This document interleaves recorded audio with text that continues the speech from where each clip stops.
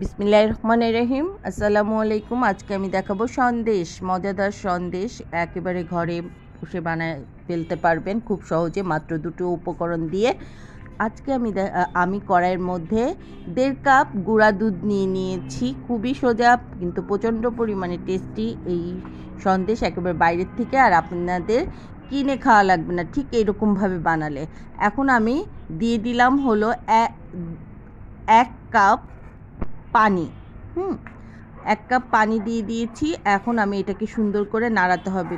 খুব সাবধানে একেবারে কম জালে এটাকে আপনি নাড়াতে, নেড়ে চেড়ে নিতে হবে যাতে নিচে লেগে না যায়। খুব সাবধানে নাড়তে হবে। এখন আমি এর মধ্যে দিয়ে দিলাম দুটা এলাচ। হ্যাঁ কারণ সুন্দর গন্ধর জন্য তো এলাচটার দরকারই হয়। আরও যদি মিষ্টি খাবার হয় তাহলে তো আর কথাই নাই। হ্যাঁ এখন আমি এটাকে সুন্দর করে নাড়তেই থাকব। এটার মেয়ে নিয়ে হলেও সুন্দর করে নাড়তে হবে, না হলে কিন্তু সুন্দরভাবে এরকম আসবে না। এখন আমি দিয়ে দিলাম আপনার লেবুর রস এক চা চামচ হ্যাঁ? কারণ এই ছানাটা কাটতে হবে। এবার আর একটু পরে আমি আবার আরেক চা চামচ লেবুর রস দিয়ে দিলাম হ্যাঁ? দুই চা চামচ আমি লেবুর রস দিয়েছি। হ্যাঁ এখন এটা খুব ঘন দুধটা অনেক ঘন আছে, যার জন্য আপনারা ভালো ভালো করে, বেশি বেশি করে নাড়তে হবে। হ্যাঁ এরকমভাবে নাড়তেই থাকতে হবে। না হলে আপনার নিচে লেগে গেলে আর গন্ধ বেরোয় যাবে, পোড়া তখন আর খেতে ভালো লাগবে না, ওটা আর সন্দেশ থাকবে না। এখন এরকমভাবে নাড়াচাড়া করতেই হবে। এখন আমি দেখেন আমার নাড়তে নাড়তে আমি দশ মিনিট পরে নাড়াচাড়া করতে করতে আমার এরকম ঘন গ্রেভি হয়ে গিয়েছে। এখন আমি এর মধ্যে আজকে আমি গুড় দিয়ে সন্দেশ বানাবো সেই জন্য আমি গুড় দিয়ে দিব হলো দুই টেবিল চামচ। হ্যাঁ আপনাদের যাদের ঘরে গুড় থাকবে না, তারা আপনারা চিনি দিয়েই বানাই নিতে পারবেন। আপনারা দুই টেবিল চামচ চিনি দিয়ে নেবেন। আপনাদের পছন্দ মতো মিষ্টি দিবেন, কোনো সমস্যা নাই। যার যেরকম মিষ্টি পছন্দ, সে সেরকমই মিষ্টি ইউজ করতে পারেন এখানে। হ্যাঁ আমি এই যে নাতে নাতে দেখেন, আমার ঘনটা একেবারে সুন্দরভাবে এসে গেছে। আর হলো গুড়ের সন্দেশের মতো কালারটা চলে আসছে। হ্যাঁ এখন হলো আমি এটাকে আর একটু নেড়ে চেড়ে, এখন এর মধ্যে আমি দিয়ে দিব একটু ঘি। হাফ চা চামচের মতো আমি ঘি দিয়ে দিয়েছি, কারণ এটা সুন্দর গন্ধের জন্য ঘিটা অনেক জরুরি।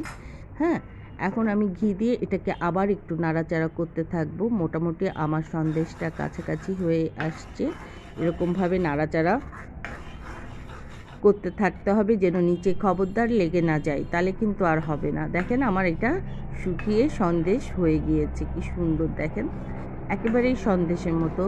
আপনারা বুঝতেই পারবেন না, এটা ঘরে বানানো সন্দেশ। একেবারে বাইরের সন্দেশের মতো এটা হবে। খেতে খুবই টেস্টি। ভালো লাগলে আমাদের চ্যানেলটা একটু সাবস্ক্রাইব করে দিবেন, প্লিজ। ব্যাস, আমার সন্দেশ রান্না শেষ। এখন আমি এই বাটিটার মধ্যে একটা বাটিটার মধ্যে একটা বেকিং পেপার নিয়েছি। এখন তার মধ্যে আমি সন্দেশ দিয়ে দিলাম। হুম, সন্দেশগুলা আমি সুন্দর করে এর মধ্যে সেট করে নিব। আমি দেখাচ্ছি, দেখেন কি সুন্দরভাবে সন্দেশটা হয়ে গিয়েছে একেবারে। আসলেই প্রচণ্ড পরিমাণ টেস্টি এই সন্দেশটা। একবার খেলে আমি জানি আবার বানাতে ইচ্ছা করবে আপনাদের হ্যাঁ? এখন আমার এটা মোটামুটি সেট এখন আমি এটাকে সেট করে দিব বাটিটার মধ্যে।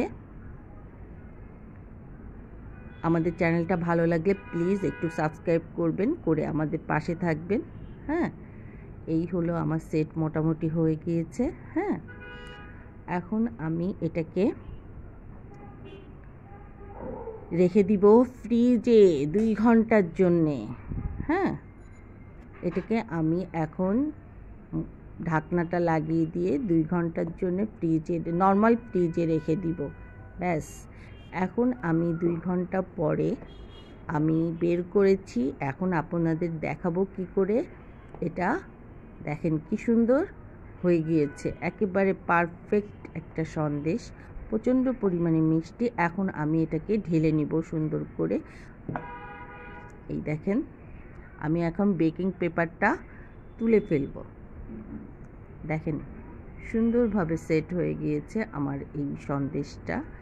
এখন হলো আমি এটা সুন্দর করে পরিবেশন করে আপনাদেরকে দেখাবো। মাশাল্লাহ খুবই সুন্দর হয়েছে। একবার খাইলে আমি জানি আবার রান্না করে খেতে ইচ্ছা করবে।